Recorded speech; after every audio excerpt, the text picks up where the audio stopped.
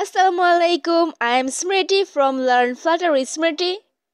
Welcome back everyone. Are you ready? I am so ready. Today I will finalize the process of save product. I hope you enjoyed and learned many new things from my last video. So today we are talking about how to save your product's title, price, description, images, product type and search text.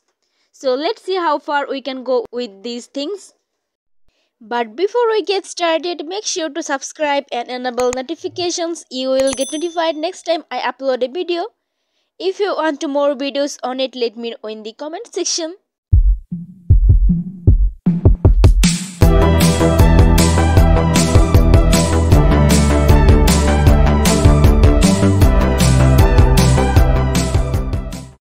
Alright, let's start from the application's finished version. First, let's explore the pocket market zone. So there's four different tiles, one selection drop down and a button. If we click on save button, let's see what happens. As you see a cool reminder to add products basic. Let's fill it done.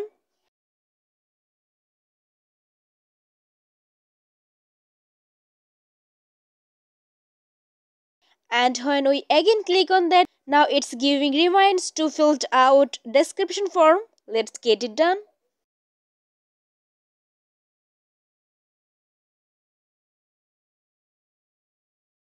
Now it says upload at least one image. Let's upload some images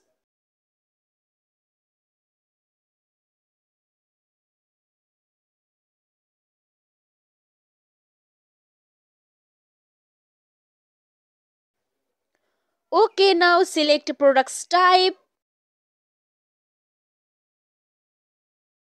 And lastly, let's add at least 3 search tags.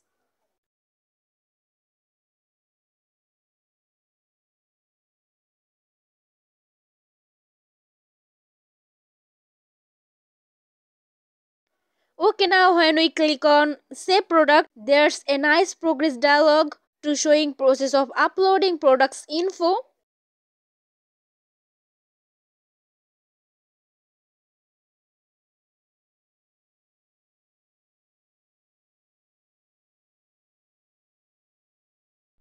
Cool. Product uploaded successfully. Finally we are able to save our product. That's really cool so we are going to implement it here in the tutorial. So let's check out how it's done. First, let's open edit product screen file. Today we are gonna finalize the save product function. In last tutorial we created this function. Today we will apply the function inside of save product function. As you saw in last part we created the function with boolean type so first we are going to create a boolean variable all images uploaded and I just set it to false. Now we will create a try catch block to execute specific function. I just add the variable in try block. In the variable we will assign upload product images function.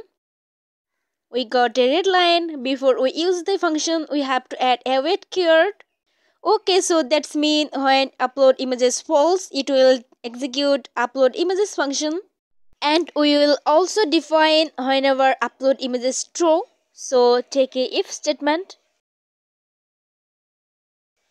If all images uploaded true it will send reminders to user all images uploaded successfully.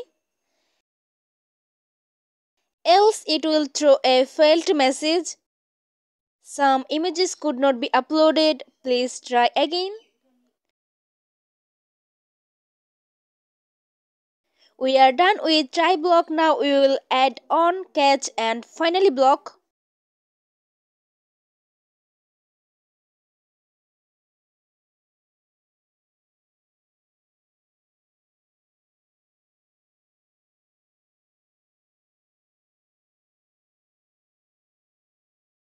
Inside final block message would be toast.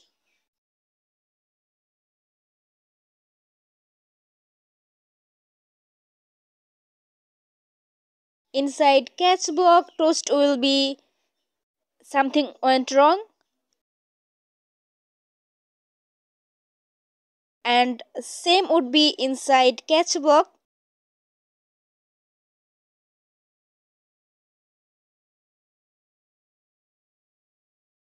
now we will create a function update product images in product services file.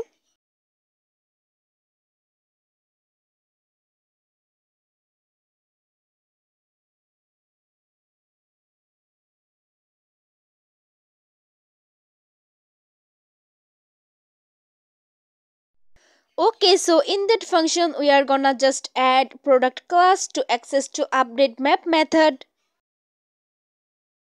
it has many properties. We need only images property. So this will become null.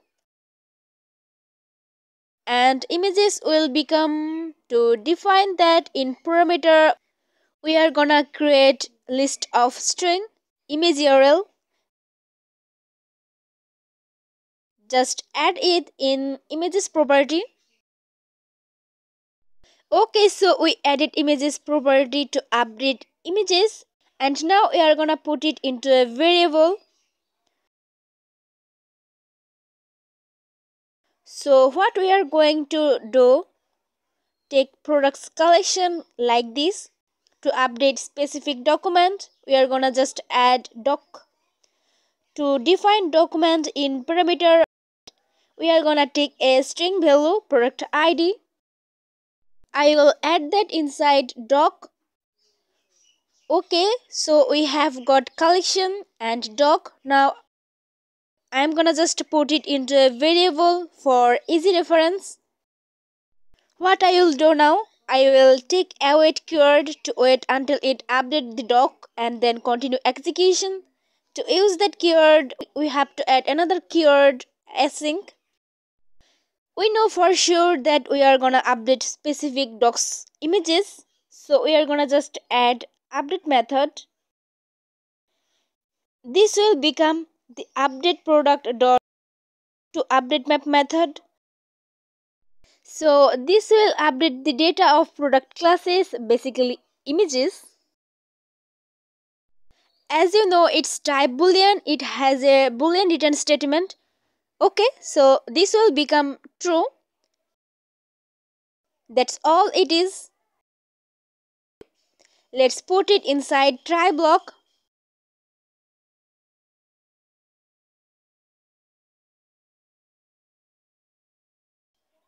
To define image url we are gonna create a list of images to convert a map into a list of objects Okay, so in the download URL, we'll add selected images and then map.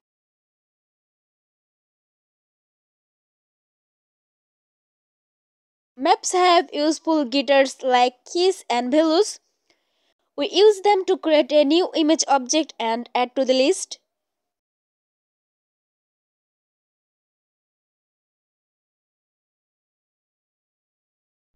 If the image type value network, it will convert that value. Otherwise, it will execute null value. And don't forget to call to list as does map return a kind of iterable.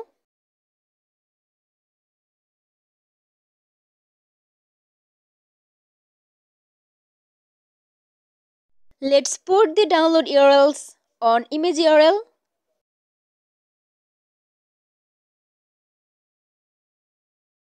What I will do now I will create a boolean variable and I just set it to false.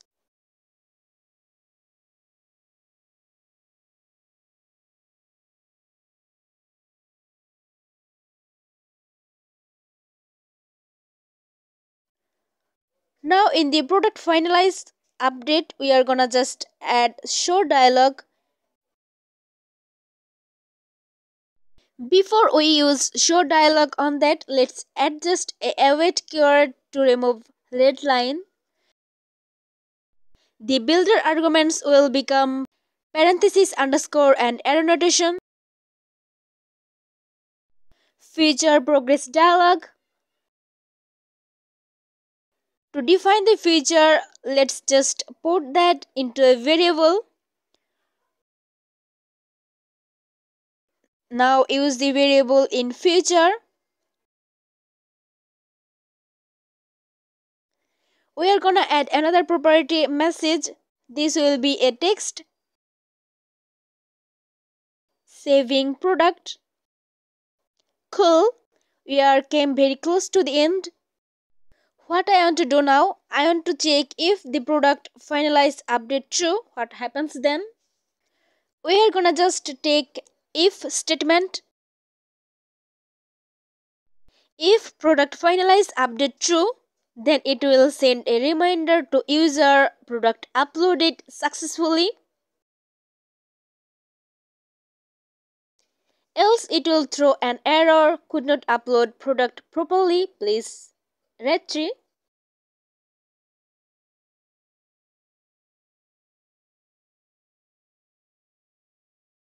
now we are gonna add catch on and finally block.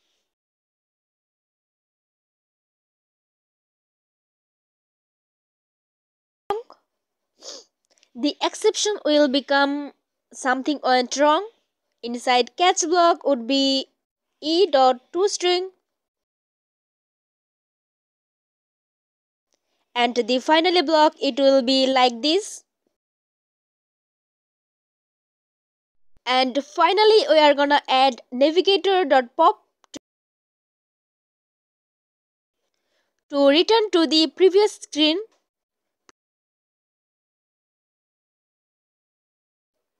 So that's all it is. We are done with the function. Now we will run the application and we'll see what happens. I would suggest watch part 18 to 23 in a good way to understand the functionality. I hope it will work nicely. Stay tuned with music. If you enjoyed this video, please like and share it with others. Thank you for watching and have a fantastic day or night wherever you're at work.